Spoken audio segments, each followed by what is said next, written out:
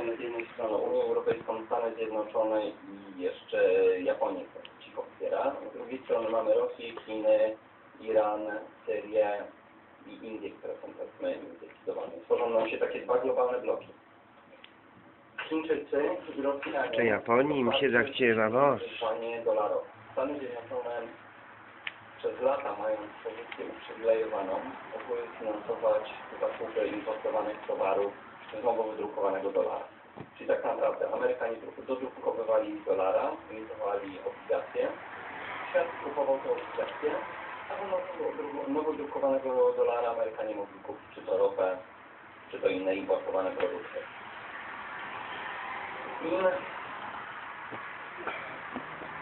W każdym tak naprawdę miesiącu mamy do czynienia z w której zaognia się spór pomiędzy Rosją a Stanami Zjednoczonymi. Ukraina jest tylko jedną odsłoną tego czynnika. W sytuacji, gdyby na przykład Stany Zjednoczone, wspierane przez Unię Europejską, zdecydowały się nałożyć większe sankcje na Rosję, Rosja może bardzo łatwo odpowiedzieć, uderzając błyskawicznie w Stany Zjednoczone w prosty sposób. Dzisiaj cały handel ropą, inaczej większość handlu i cały handel pomiędzy Rosją a Unią Europejską, sprzedaż gazu ropy, odbywa się e, w dolarze.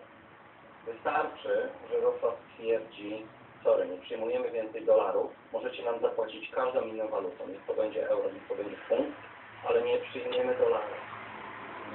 Jest to wystarczający sygnał dla globalnych funduszy inwestycyjnych, że nastąpił ogromny odpływ dolara. Dzisiejsza siła dolara to tak naprawdę mm, armia Stanów Zjednoczonych i 700 baz e, wojskowych ulokowanych na całym świecie, które strzegą nie tyle bezpieczeństwa Stanów Zjednoczonych, do statusu petrodolara.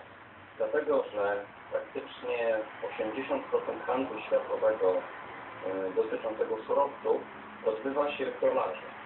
Czyli jeżeli Polska chce kupić od kogoś ropę, czy inne surowce, musi posiadać dolary. To dotyczy innych krajów. E, I w ten sposób tworzony jest sztuczny popyt na dolary. W momencie, kiedy Rosja odmówi przyjmowania dolarów, które mogą być drukowane w dowolnym tempie za same za surowce energetyczne, będziemy mieli do czynienia z ogromnym spadkiem popytu na dolary. Na dzień dzisiejszy no to jest skala rzędu jednego biliona dolarów. Ale będę Ci proszę, przepraszam, bo mówi, mówi, mówi się, że, że Chińczycy z Rosjanami już y, wymieniają się poza dolarem. Jak się odniesiesz do tych informacji?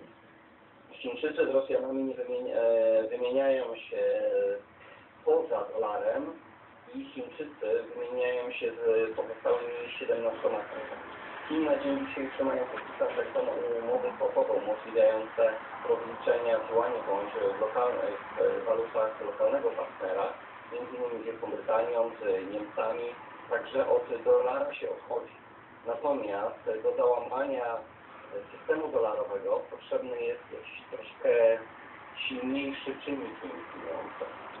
W momencie, gdyby Rosja stwierdziła, sorry, nie akceptujemy więcej dolara, byłby to na tyle ważny czynnik, że świat by się nagle odwrócił dolara. Doszłoby do ogromnego wzrostu 100% w Stanach Zjednoczonych. Pewnie miałby innego wyjścia, jak tylko y, przyspieszyć zwielokrotnić skalę druku i mielibyśmy hiperinflację i upadek systemu dolarowego. To tak naprawdę nie uczy się nikomu na ręce, dlatego że nie mamy modelu, który mógłby zastąpić w tym momencie system petrodolara. Natomiast prawda jest taka, że Stany Zjednoczone, które rzekomo ograniczyły dodruk dolarów z 85 miliardów miesięcznie do 55, nadal się utrzymują na, na tempie zeszłego roku, o ile nie jest to wyższe tempo. A to jest, to jest myk właśnie, nie? To jest ten myk. Gdzie jest źródło maśla. Mamy na przykład małą Belgię, która w ostatnim czasie, w ostatnim wydaje się 4 miesiącach kupiła obligacje amerykańskich za 160 miliardów dolarów. Wygląda to w ten sposób, żeby Fed oficjalnie nie pokazywał e, skali do druku, Fed pożycza środki do Europejskiego, Europejskiego Banku Centralnego. Europejski Bank Centralny przekazuje je do Belgii, e, a rząd Belgii po cichu kupuje obligacje amerykańskie.